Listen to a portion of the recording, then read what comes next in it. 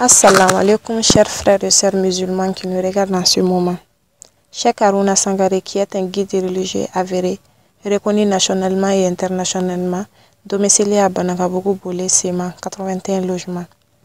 En compagnie des membres de sa famille et de ses disciples, on y a organisé une grande lecture du Coran samedi 12 décembre 2015 à Banagabougou, en mémoire de leur défunt père, Cheikh Alaï Idrissa Sangare, qui fut un homme de Dieu et guide religieux à Wankoro, dans le secte de Bankas et région de Moti. Pour cette 21e anniversaire de la disparition de leur père,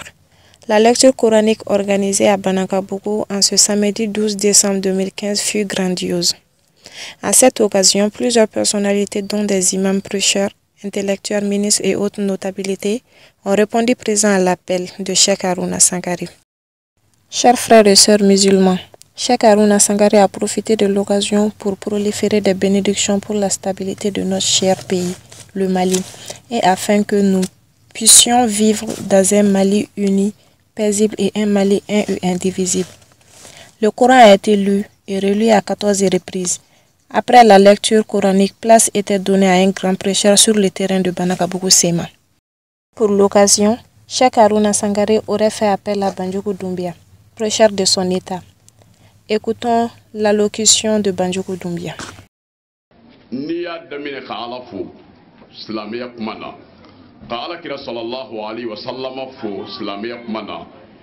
n'i jɔra o yɔrɔ la mali silamɛya la i kɛra cɛ dɔ ma fitiriwale de ye parce que mun na seli tun bɛ silamɛya kɔnɔ yan an b'a dɔn su tun bɛ silamɛya kɔnɔ yan an b'a kalama mɔgɔw tun bɛ fara ɲɔgɔn kan yan ka taa hiji an b'o kalama san m'a yɛlɛma nafolotigiw tun bɛ wari ni dɔw don enveloppe kɔnɔ ka di mɔgɔw ma an b'a bɛɛ kalama mais k'a jira ko silamɛya siga si tɛ a la fiyewu fiyewu silamɛya ye jogo de ye silamɛya ye ala dɔ de ye wa ni mɔgɔ min ko i bɛ ala dɔn ni mɔgɔ min ko i bɛ ala kira dɔn sallallahu alaihi wa sallam kira ɲininkara ɲininkali kɛbaaw fɛ ko yala muhamɛd ala y'i bila ka na ni mun ye minnu bɛ kira ɲininka a la don min na dɔnnibaa dama tun don u ni dɔnni min nana ala kira b'a dɔn ala b'a dɔn ni kira tun ko olu ma o don ala ye ne bila ka na aw ma ni seli de ye alisilamɛw u b'a fɔ a muhamadu anw ɲɛna ye kira de ye ala y'i ci ka na kun wɛrɛ la ni seliko in don a kun ma se bilen ala ka kira wɛrɛ bila ka na parce que kira minnu nana olu ye seli de anw ma seli bɛ anw fɛ dugukolo kan yan ka kuma ne kira tun k'o ma ala ko n kana aw ma n ye su de ye u tun b'a fɔ kira ma la minnu nana ka kɔrɔ e ɲɛ olu bɛ sun o tumana sun b'an bolo ka ban sun wɛrɛ na kun tɛ bilen mɛ kira ye mun fɔ ni tigiw ye ko ala ye ni mɔlu bila kana de jogo ɲuman minnu bɛ dugukolo kan bo istu le o tam min ma makarima akla nin kuma in min fɔ k'a kun dogolen don cɛ min y'a bange ka di anw ma n'an bɛɛ bɛ ka balo ni a ye bi n'a ye diɲɛ bila lafiya kɔnɔ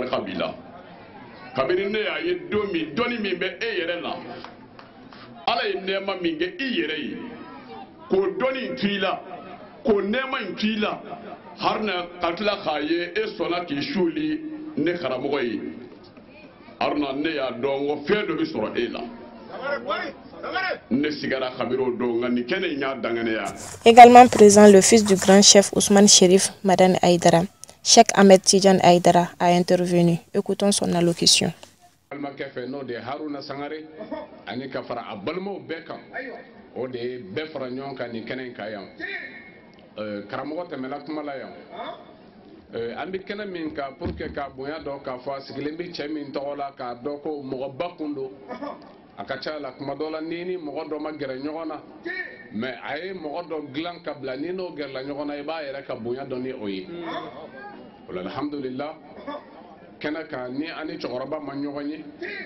ni an ni a denw ye ɲɔgɔn ye haruna a n'a balimaw i b'a dɔn k'a fɔ ko a ye dilanli dɔ de kɛ ka bila ala filɛ ka o de juru sara o la an filɛ kɛnɛ min kan an b'a dɔn kɛnɛba dɔ don ni kira mamadu mustapha ka hadisa ye sabu nin ye jigiya kɛnɛ de ye kuma dɔ la su bɛɛ tɛ nin mɔgɔ sɔrɔ i kɔ o kɔrɔ ni ale y'a sɔrɔ a kɔ an b'a fɔ a ka baara don a taara ka den minnu fana to u hakili tora a la a kɔ yan kira mamadu mustapha ko ko ni taaba taara k'i ka fɛn bɛɛ bi jɔ fo n'a kɛra fɛn saba y'i kɔ i b'o o sɔrɔ o bɛ ala ka kuranna a ye sabati ni o de ye naktubu ma qaddamu wa atharahum ko ni mɔgɔ taara bɛɛ lajɛlen alaw taala bi sɛbɛnni kɛ i kɔ i ye min kɛ ka bila i yɛrɛ ɲɛ wa bi a b'o cogo kelen na i ye nɔ minnu sinsin ka bila ɲɛnamaya kɔnɔ ye a kɛra ɲuman ye a kɛra juguman ye hali n'i sara i b'o dafalen sɔrɔ fo ka taa se kiyama ma o la kira mamadu mustafa ka hadisa in a b'o sabati ni o de ye k'a fɔ n'i taara taaba bɛɛ o y'i ka fɛn bɛɛ tigɛlen ye fo n'a kɛra fɛn saba ye mɔgɔ min n'i tun ye dɔnnibaa ye i ye mɔgɔw ladɔnniya madama mɔgɔw bɛ ka nafa ni o dɔnni ye k'i b'o baraji dafalen sɔrɔ a b'o cogo kelen na mɔgɔ min n'i ye sɔrɔka jariya dɔ dilan ka bila i yɛrɛ ɲɛ i ye fɛn dɔ bila sen kan ni o de ye ka mɔgɔw nafa ni kalanso dɔ jɔli ye walima ni mɔgɔ dɛmɛ yɔrɔ dɔ ye o n'a ɲɔgɔnnaw n'i ye o min sinsin madama mɔgɔw bɛ ka dɛmɛ ye mɔgɔw bɛ ka kalan ye walima kɔlɔn senna mɔgɔw bɛ ka nafa ni a ji ye walima misiri jɔra mɔgɔw bɛ ka seli a kɔnɔ ko e k'a dɔn fo ka taa se i ka saya ma e lahara jɔ don ma ko i b'o baraji dafalen sɔrɔ i ka kaburu kɔnɔ a sabanan ye jumɛn ye ko alwaladu salih den ɲuman ni maa o maa ye den ɲuman sɔrɔ i kɔ o den ɲuman hakili ka to i la ka dugawu kɛ i ye ko o baraji dafalen bi sɔrɔ o kɔrɔ an filɛ o kɛnɛ de kan bi an ka cɛkɔrɔba an b'a dɔn ko a ye den ɲumanw de to a kɔ yan wa o den ɲumanw de ka kɛnɛ filɛ nin ye a kɛnɛ a wasara mali kɔnɔ karamɔgɔw a caman bi kɛnɛ kan yan a b'o cogo kelen fana na faamaw u caman nana kɛnɛ kan yan jɔn tɔgɔ la a denkɛ tɔgɔ la ka na fara ɲɔgɔn kan ka dugawudenw kɛ ka ɲɛsin ale ma bi an bɛ o dɔn a yɛrɛ de ka baara kɛta ɲɛna o la an b'a ka musokɔrɔba fana fo mariyatu sangare an bɛ a fana fo ni kɛnɛ kan yan mɔgɔ ka baara musow ka baara ye sokɔnɔ baara de ye mɛ a jaabi bɛ dɔ kɛnɛma de o mana baara min kɛ sokɔnɔ a jaabi bɛ dɔ kɛnɛma ni o ka cɛ dilantaw de ye alhamdulilayi karamɔgɔ a ye min fɔ a kan ni an ka nin kɛnɛ in seereyali nin t'a siɲɛ fɔlɔ ye a siɲɛ caman de kɛra mɛ ne yɛrɛ ka seereya ko fɔlɔ la n ye min seereya yan o ye o de ye ni o ye aruna yɛrɛmajigi min b'a la n bɔra k'o de fɔ kɛnɛ in kan karamɔgɔ seginna o de kan o kɔrɔ n'i bɛ mɔgɔba taamasiyɛn jateminɛ fɔlɔfɔlɔ min n'i bɛ a y'a la o ye yɛrɛ dɔgɔya de ye alhamdulilayi ala y'ale garisɛgɛ yɛrɛ dɔgɔya la o ye fɛnba dɔ de ye a bolo Cheikh Aruna Sankare avait fait également appel au ministre Chorno As Diallo. Écoutons son allocution. n bɛ segin a kan n tɛ sɛgɛn a fɔli la jamana ɲɛmɔgɔ elaji ibrahim bubakar keyita a ko ne ɲɛ n yɛrɛ sɔrɔ diinɛ kɛnɛ kan waati o waati n kana ɲinɛ k'a fɔ diina ɲɛmɔgɔw ni jamanadenw ye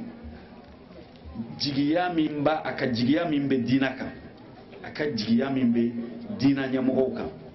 bari ni diina ɲɛmɔgɔw ɲɛna ka diina kuma fɔ u ma tamaki i n'a fɔ an bɛ min dɔn i n'a fɔ an bɛ min mɛn mɔgɔw da i n'a fɔ usumani sherif madana ayidara kabini an bɛ ekɔli la ni diina kɔntiniyera o sira kan maa minnu bɛna di la lamɛn u b'a faamuya ni tiɲɛ sira ye donc diina bɛ kɛ sababu ye ka jogow yɛlɛma ka jogow yɛlɛma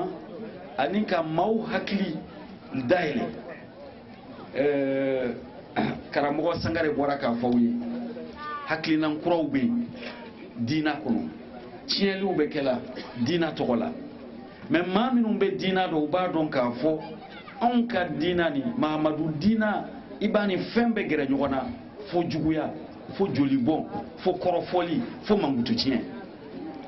donc ko diinamɔgɔw k'u jija u k'a fɔ maaw ye i n'a fɔ karamɔgɔ bɔra k'a fɔ cogo min ko ala subahana wa taala ko a ma foyi jagoya nin k'a tɛ se min kɔrɔ ko hali kira rasulula ye tilela dɔw k'olu tɛ diina fɛ a ko k'u to yen ko an ni kerecɛnw sigira ani yahudiyaw sigira ko a fɔra an ka kiraw bɛɛ bonya i b'a fɔ an b'ale rasulula salalahi wasalim bonya cogo min ko an kana danfara don u ni ɲɔgɔn cɛ ko an ka kuranɛ bonya ka kitabu barikama tɔ bɛɛ bonya zaburu b'a la injili b'a la tawurati b'a la awa n'i ye mali jamana kɔnɔna nin ye ko an k'a dɔn k'a fɔ jamana nin kɔnɔ alimamiw bɛ yen tontigiw bɛ yen olu kɛrɛfɛla la du kelen dɔw kɔnɔ dɔw ye kerecɛn ye dɔw ye silamɛ ye dɔw ye tontigiw ye u dɔgɔw ye u kɔrɔw ye alimamiw ye bitɔn kulibali tun tɛ diinɛ la mɛ a ye misiri jɔ a ba ye a ba tun ye silamɛ ye donc a ka kan maaw k'a dɔn ko jamana nin sigira ko to ɲɔgɔn tala de la jamana nin sigira ɲɔgɔn bonya de la parce que jamana sigira danbe dɔ de kan diina nana sɔrɔ an fɛ yan maa tɛ se walimuso ma diina nana sɔrɔ an fɛ yan maa tɛ walifɛn suɲɛ diina nana sɔrɔ an fɛ yan jamana e, e, e, kulu ka laɲini batulen don diina nana sɔrɔ an fɛ yan nɔ danbew bɛ yan hɔrɔnyaw bɛ yan nɔ o de la diina nin donna an fɛ yan k'a sɔrɔ ani muruma don bari diina nana ko ka fɛn fɛn jateminɛ a y'a sɔrɔ hadamadenya ni danbeya la a caman tun b'an bolo donc an k'o dɔn an k'a dɔn ko an bɛ silamɛya la bi arabu jamana dɔw ɲɛ bari ala ko dɔnnibɛlaw ko b'a dɔn a ko a ye mahamadu rasulilayi b'o la bari n'a tun b'u bolo u tɛ kunnadiya mɛ hari o kɔnɔ an b'a dɔn u ye min d'a kan donc a ka kan k'a dɔn ko diina nin tɛ arabu ta ye a nana arabu kana mɛ arabu ta tɛ an k'a dɔn k'a fɔ jamana nin kɔnɔ diina nana san min kɔnɔ san damadɔw kɔfɛ diina tun bɛ jamana nin kɔnɔ yan donc maa tɛna diina nin kalan lase jamanadenw ma maa tɛna k'i bɛ diina nin fɔ ka tɛmɛ anw kan fo ka dɔn k'a dɔn k'a fɔ maaw bɔra hafiza alkur'aniw don k'a f'u ye u taara magan dɔ min u bonyana ye u ye maaw laseli alazar universitew kɔnɔ maaw bɛ yen u ye diina nin kɛ fɛn ye yaasa ka jamana nin kisi i n'a fɔ sɛka mahu la ɲɔgɔn donc o kumakan ninnu jamana ɲɛmɔgɔ ko n kana ɲinɛ o fɔli la n kana ɲinɛ k'aw deli aw k'a fɔ denmisɛnw ye u ka kɛ baarakɛlaw ye u ka kɛ maa tilennenw ye ka kalan kɛ pour que silamɛden mana ye yɔrɔ o yɔrɔ jan ko a maliyɛnden lama a ka fɔ nin y'a ka kilasi ɲɛfɛmɔgɔ ye a ka fɔ baara yɔrɔ la nin tilennen don ko ni politimɔgɔ don a kana kɛ maa ye min bɛ layidu ta a b'a tiɲɛ a kana kɛ maa ye min bɛ yatimɛ ɲɛyɔrɔ dugukolo minɛ k'a feere a kana kɛ maa ye min bɛ kiri goyala maa la parce que fɛn t'a bolo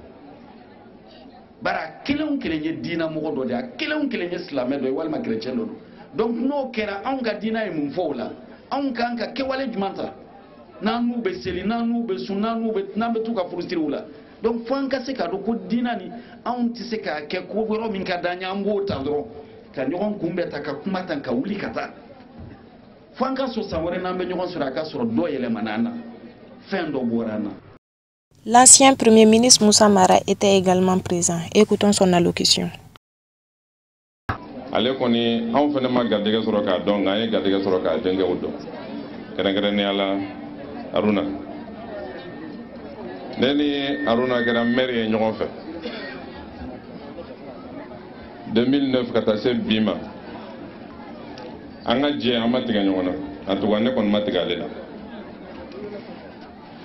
n ye min y'a la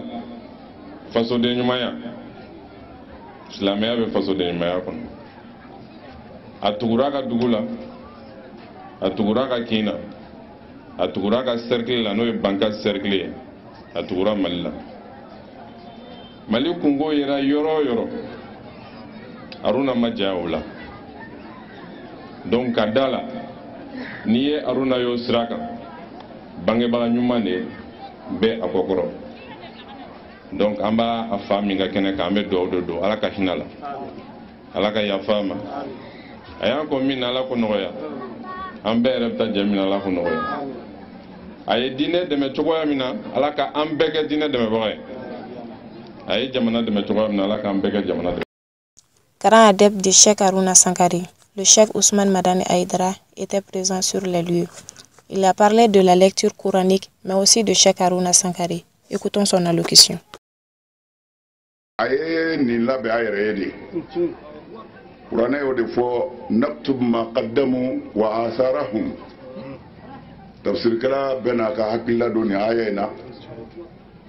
i ye min kɛ ka taa an b'a sɛbɛn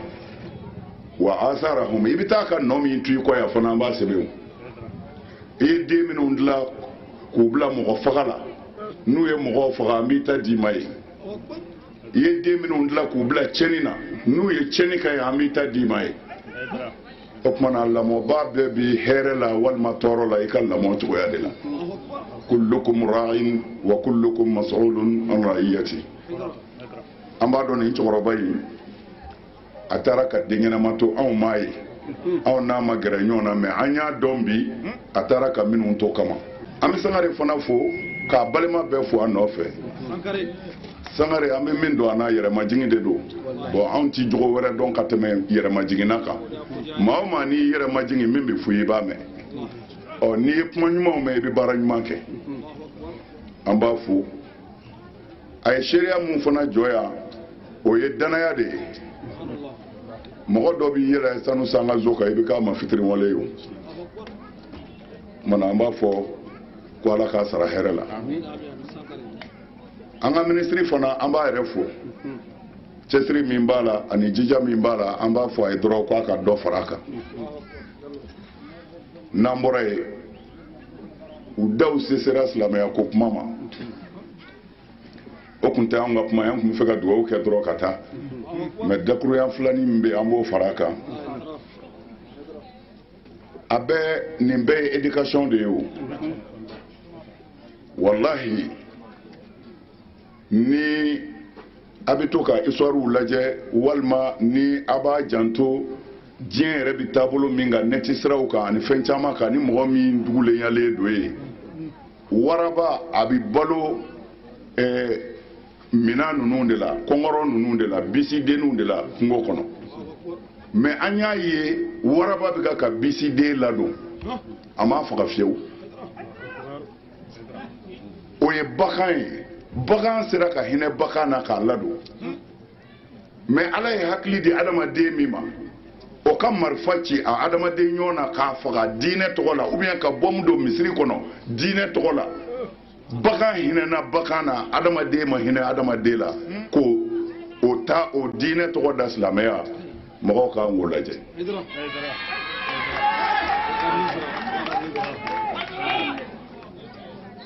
anw ka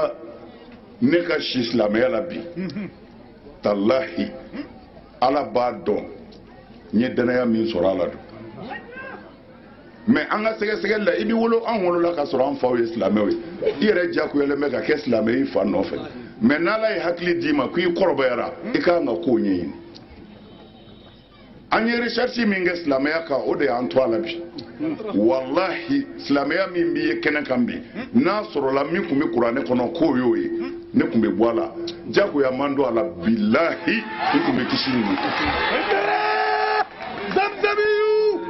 mɛ ne fɛ ka min fɔ n balimaw ye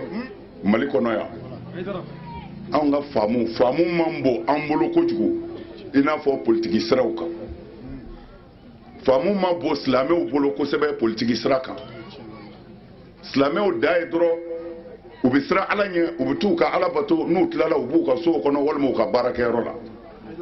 bɔn mɛ adamaden kelen kelen minnu bɛ yen ni politiki denw don u kunkolo foyi t'a kɔnɔ politiki kɔ hmm. n bɛ diɲɛ mara cogo di n bɛ n sago sɔrɔ mɔgɔw la cogo di o politiki mɔgɔ minnu bɛ silamɛya kɔnɔ hmm. olu de bɛ ka ka yaala ka don silamɛya duw kɔnɔ silamɛw ma ɲɛma ma kunu fɔlɔ k'a dɔn min bɛ senna en réalité o bɛ ka ka olu ta otage la ka c'est à dire ka u labaara. Hmm. fo an k'an kɔlɔsi an k'an janto an yɛrɛ la alimami seko mugadamu malo bɔrɛ dɔ bɛ don i ka so a minɛ i k'i hakili sigi jɛgɛ t'i boso t'i jɛgɛ sɔrɔ abada fo a tɛ fɛn min fɛ a k'o d'a ma n'i mago bɛ jɛgɛ la i bɛ nɔgɔ de don dɔlen na mɛ n'i ko ko bosokɛ yɛrɛ ka nɔgɔ don a ti sɔn mɛ a b'a bolo don a la pourquoi parce que ale mago bɛ min na o de bɛ sɔrɔ n'a ye kumana ni nɔgɔ filila dɔrɔn jɛgɛ bɛ n'a ta kumana jɛgɛ bɛ minɛ malo bɔrɛ caman bɛ don a kan an ka alimamiw wa bi naani caman bɛ d'a ma an ka alimamiw a santɔ don nkalon don dɛ n'i dun ye dum- eh, malo bɔrɛ minɛ ka nɔnɔ bɔrɛ minɛ k'i kɔnɔ fa k'i kɔnɔ fa ka da faraba ma o ye halaki ye dɛ a y'a kɔlɔsi u bɛ ka ka don bɛɛ kan kumaw fɛn- fɛnw yɛlɛmɛnen a ɲɛjugu kan u sagow kama jamana in kɔnɔ bɛɛ bɛ ɲɔgɔn dɔn n y'a fɔ n bɛ segin a kan siɲɛ miliyari sɔhi bukari a b'a kɔnɔ muso dɔ bɛ a bɛ ala bato kojugu fonisire da don ɲumankɛla da don selila da don sunbaga da don wa mɔgɔ wɛrɛ kɔfɛ tɛ dɛ ala kira kɔfɛ sɔlɔlahu alaihi wasallam mɛ muso in sara don min na kira ko ko subhanallah silamɛw ko a kɛra cogo di a ko a m'a fɔ ni muso in ka ɲi a ka ɲi a bɛ tan a ko n y'a ye janɛmɛ mɛlɛkɛw de bolo a ni an karamɔgɔw bɛ yan an ka silamɛya kiri ka nɔgɔ kojugu ee eh, u ko mun na jibirila y'a fɔ kira ye ko muso in ye jakuma de siri juru la a ma ji d'a ma a ma dumuni d'a ma kɔngɔ ni minɔgɔ de ye jakuma faga bɔn ala kalenna maa o maa ti hinɛ i y'ale ala jugu ye i bɛ taa janamɛ kɔnɔ maa o maa t'i hinɛ ba o tuma na an k'a lajɛ bagan kama bagan jakuma bagan ala ye silamɛ dɔ ka silamɛya tiɲɛ k'a don janamɛ kɔnɔ yala o ala bi sɔn mɔgɔ min y'i tugu ka adamaden ni bɔ a la o bɛ don alijinɛ jumɛn na an ka jamana kɛrɛfɛ jamana dɔw bɛ yan n tɛ jamana tɔgɔ fɔ u sera ka kojugu kɛ o jamanaw na bi don o don u bɛ mugu wuli suguw la ka mɔgɔw halaki n bɛ ɲininkali kɛ pourquoi faama tɛ yan faama bɛ yen mais u nana kuma jumɛn en retard faama jugu dɔw de sɔrɔla yen minnu ye miliyari minɛ ninnu bolo k'u dɛmɛ k'u ka fɛn jugu bɛɛ ladon jamana kɔnɔ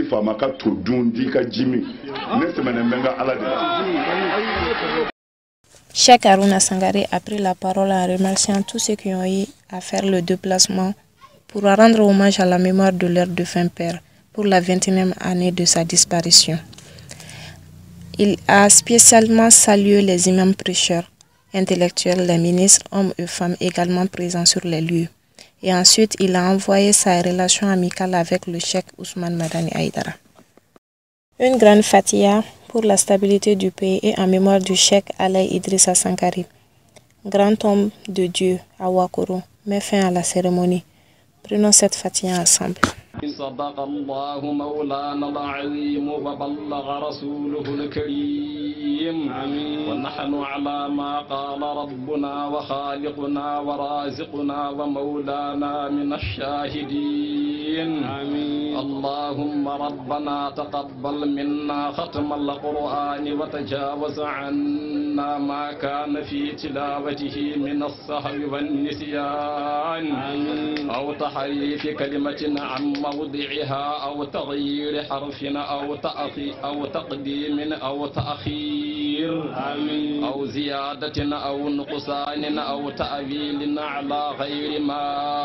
أن زلتك أو ريب أو شك أو تعجيل عند تلاوته أو كسل أو سرعة أو زيغ اللسان أو وقوف بغير وقف أو إدغام بغير مدغم أو إظهار بغير بيان أو مد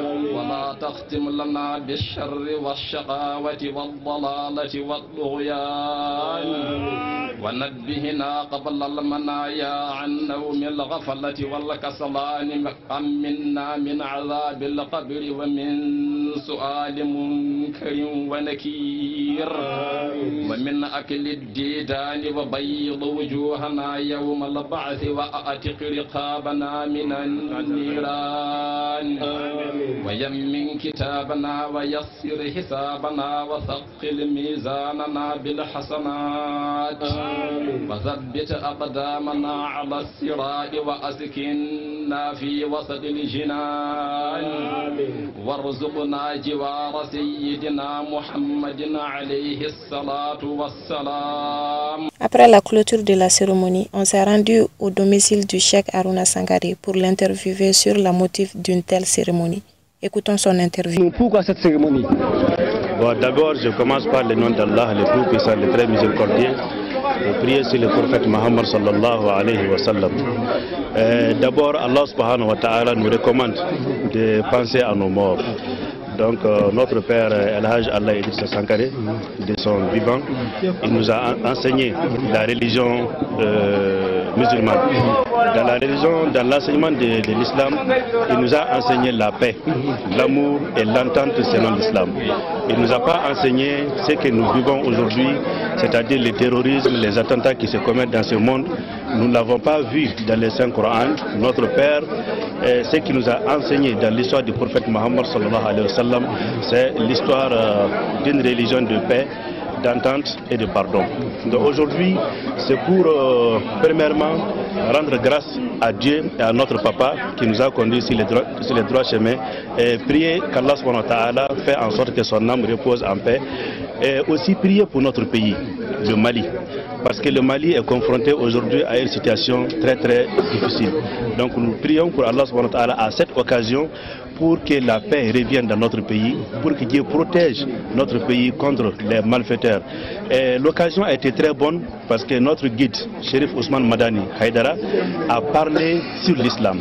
Et dans tous ses propos, nous avons vu que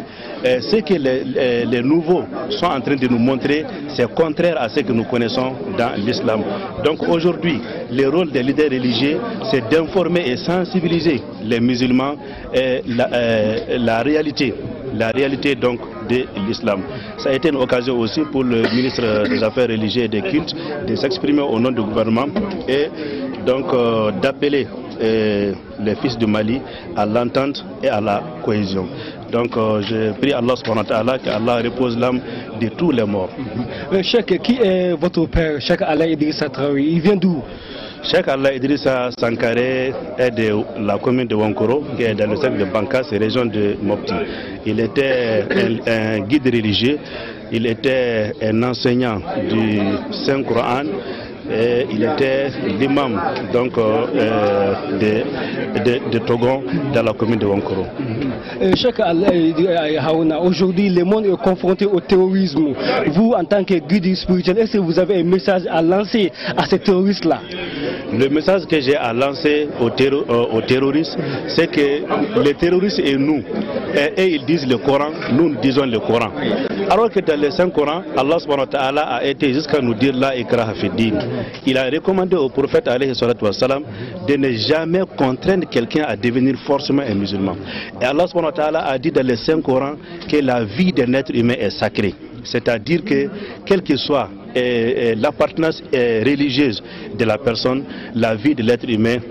est sacrée. Donc nous ne nous reconnaissons pas dans ce qui se passe aujourd'hui parce que nous n'avons vu nulle part dans le Saint-Coran ce genre de comportement. Et je vous assure que si moi j'avais vu dans le Saint-Coran un passage de ce que ces gens-là sont en train de faire aujourd'hui, j'allais démissionner de l'islam et vivre une autre religion. Mais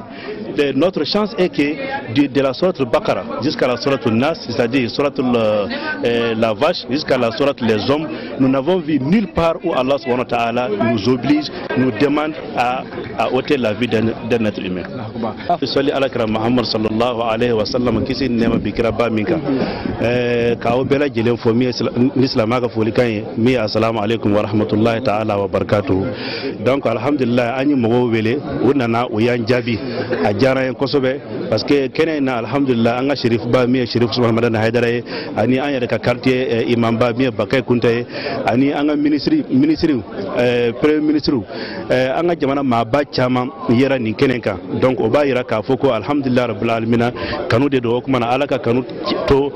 silamɛw ni ɲɔgɔn cɛ donc alhamdulillah bi bi an ye duwawu de kɛ ka ɲɛsin an ka cɛkɔrɔba ma min ye elhaj ala idirisa sangare o kumana parce que a ye an yira a ye ala sira de yira an na a ye silama yira eh, sira de yira an na donc a ye silama min yira an na donc ani silama min bɛ ka jagoya ka imposer an kan bi o tɛ kelen ye parce que silama b'a yira k'a fɔ ko an bɛɛ ye kelen ye silamɛya tɛ mɔgɔ yamaruya ka mɔgɔ faga silamɛya tɛ mɔgɔ yamaruya ka mɔgɔ diyagoya k'a kɛ o tuma na silamɛ ye an y'a ye alakira mahamadu sallallahu alaihi wa sallam jihadi dɔ la ɛɛ u tun ye kafiri dɔ minɛ ko kafiri in ko diyagoya f'a ka tubi ka kɛ silamɛ ye kafiri in ko ko walahi k'ale dalen tɛ ala la k'ale dalen tɛ kira la ko ale fo k'a sa k'a tɛ tubi ka don silamɛya la o y'a o y'a siri ka na n'a ye kira fɛ alakira mahamadu sallallahu alaihi wa sallam k'a ka fɔ la ilaha illallah mahamadu rasulullah a ko k'a t'a fɔ ko parce que k'ale dalen tɛ ala la k'a dalen tɛ ala kira ma ala kira yɛrɛ ko k'a foni k'a bila ka taa y'a dɔn a ma jagoya u tun bɛ se k'a faga don mɛ u y'a bila ka taa o tuma o kafirikɛ taalen ale yɛrɛ seginna ka a yɛrɛ ma ka na ka tubi ka don silamɛya la a yɛrɛ ma ka sɔrɔ ka sɔrɔ a ma jagoya kira taara madina a ma jihadi kɛ ka don madina donc o bɛ ka fɛn min jira an na bi o tumana vraiment eh, silamaya tɛ an kɔni tɛ nin dɔn silamaya la n'a y'a sɔrɔ silamaya de ko eh, ye nin fɔ n'an ye aya ye kuranɛ la min b'a fɔ k'a fɔ mɔgɔw ka faga walahi an bɛ bɔ silamaya la i y'a faamuya nka an ye min ye kuranɛ kɔnɔ min ye suratul bakara ye fo ka na se suratul nasi ma o de ye ko silamaya ye ɲɔgɔn kanu de ye silamaya ye laadiriya de ye silamaya ko ko ɲɔgɔn faga tɛ yen an y'a ye serifukɛ ye kisa dɔ fɔ bi ko muso dɔ bɛ yen k'a tun bɛ ala ala bato kosɛbɛ a bɛ seli a bɛ sun a bɛ jaga bɔ a bɛ fɛn bɛɛ kɛ mɛ a donna jahanama kɔnɔ parce que tout simplement a ye jakuma den minɛ k'a siri k'a bali dumuni na ɛ mɔgɔ min ye jakuma tɔɔrɔ k'o donna jahanama la o tuma na mɔgɔ min ye adamaden faga dun donc o tuma na bi a kɛra occasion ye an ka dugawu kɛ an ka suw ye a kɛra occasion an ka dugawu kɛ an ka jamana ye a kɛra occasion ye fana an ka dɔnnibatigiw ka silamɛya yɛrɛ ɲɛfɔ an ɲɛna donc alhamdulilayi k'aw bɛɛ lajɛlen fo k'aw tɔnɔ ayiwa an balima silamɛw an bɛ aw fo ka waleɲuman dɔn aw k'a dɔn k'a fɔ nin tun ye anw ye banangabugu boli sema na 93 logement bamakɔ yan nɔ a sɛk haruna sangare a n'a balimaw a n'a sindiw u bɛ kuranɛ kalanba u y'o labɛn samedi le 12 décembre 2015 cogoya min na ka duwawu donko ka cɛkɔrɔba ye n'o ye a sheik alayi idirisa sangare n'ale tun ye maa ɲuman ye ka bɔ wankɔrɔ wankɔrɔ ale bɛ bankasi sɛrikili la mote region na u ye kuranɛ kalanba labɛn ɲinanta sa o bɛnna kuranɛ kalan in siɲɛ mugan ani kelenna ma u ye ɲinanta u y'a bɛɛ sugandi ka duwawu de kɛ jamana ye cogoya min na mali ka sabati mali ka banba mali ka jidi fitinɛ o ka bɔ mali kɔnɔ an balima silamɛw o kuma a shek haruna sangare an b'a fo ka walima dɔn an bɛ dugawu dun k'a ye alahu ka sija ani kɛnɛda ma a bɛ ka baara min kɛ silamɛya kɔnɔna la an bɛ ala deli ala k'a sara ala ka sijan d'a ma ala ka kɛnɛya d'a ma a shek haruna sangare aw k'a dɔn k'a fɔ a ye maa caman jigi tugu silamɛya kɔnɔna la a ye dɛmɛ ta ka ɲɛsin maa caman mali kɔnɔ o kuma an b'a fo ka walima dɔn a b'a la ka silamɛya dɛmɛni min kɛ walahi an bɛ alahu deli alahu fana k'a saga alahu k'a jidi alahu k'a banba ibrahim jawara wa asalamu aleykum